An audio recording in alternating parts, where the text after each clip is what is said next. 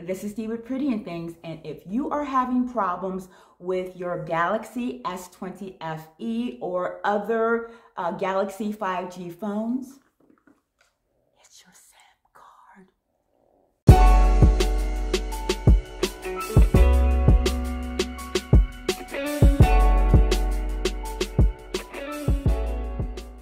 This is Dee. Welcome back to my channel. And if you are new to this channel, welcome. Well, guys, I am back, back, back with a quick new video. And this one I consider a PSA public service announcement for those of us who um, got new Galaxy S20 phones, particularly the uh, the FE, the Fan Edition. I, like many of you, have been having consistent persistent problems with connectivity and other issues, and I have found what is likely the fix for many of you as it was for me. But before I get into it, you guys, please, please, please do not forget to subscribe, subscribe to this channel, you guys. And please, please, please turn on those notifications so you are aware whenever I upload a great a new video just like this one. So let's get right into it.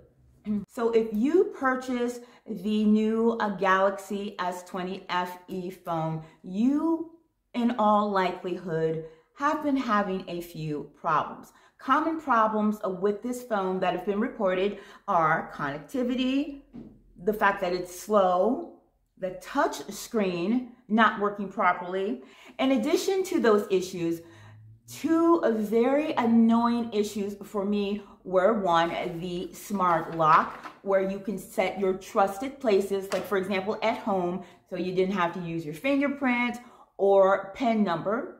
And also, I was having problems with um, the voice to text. I pressed the microphone and it would initialize it to say initializing, initializing, initializing. Um, to, I mean, I just had the last straw with this and I called, my carrier is T-Mobile and I called them, firstly I called them three weeks ago and reported the issue. The guy did the troubleshooting, didn't work. So I called again and I was like, this is it. Either you're going to, you know, check to see if there's a service issue or you're going to replace this call. I spoke to a gentleman, a gentleman named Quan in technical support, and I have to shout him out because he resolved this issue for me. And immediately he told me that the problem was the SIM card. Now, like many of you, whenever I upgraded my Samsung phone, I just switched my old SIM card into the new device. But with these new 5G phones, Samsung created a special 5G SIM card, and you cannot simply put your old SIM card into the new device. You must use this SIM card.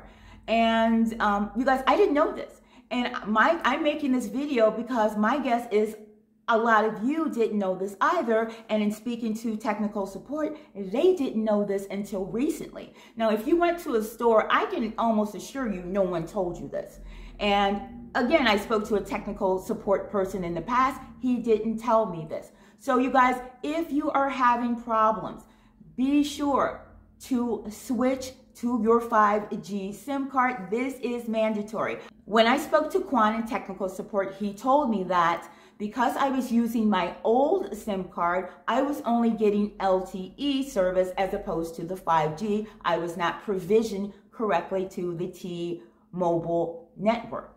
And as such, that impacted my connectivity, the touchscreen, and things like location, which enabled me to do the uh, smart lock. So what he did was have me switch out the old SIM card and add this new one that came with the device and he provisioned me on the uh, T-Mobile system and voila, it worked you guys, it worked.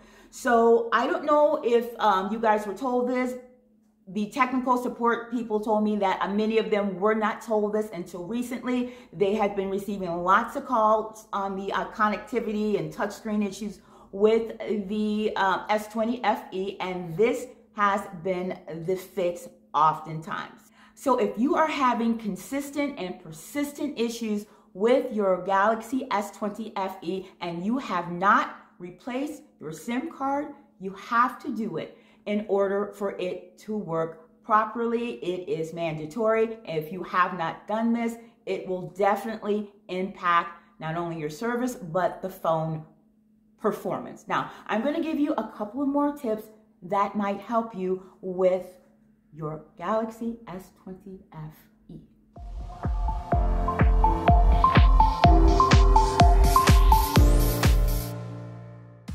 Now, I am not a technical person, but these are the tips that have helped me resolve most of the issues I was having with my Galaxy S20 FE.